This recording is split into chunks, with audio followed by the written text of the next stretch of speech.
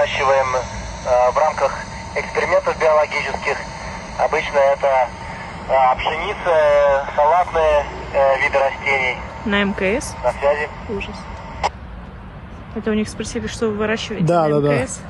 Э, в районе 8 часов, может быть чуть больше. Зависит это от э, жизненного цикла системы жизнеобеспечения, а конкретно от патронов поглотителей углекислого газа.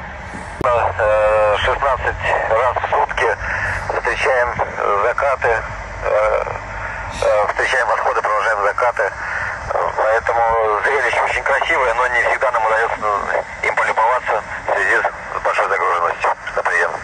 Спасибо за проведенный сеанс, за интересные вопросы. Вам успехов в учебе и во всех ваших э, земных добрых делах.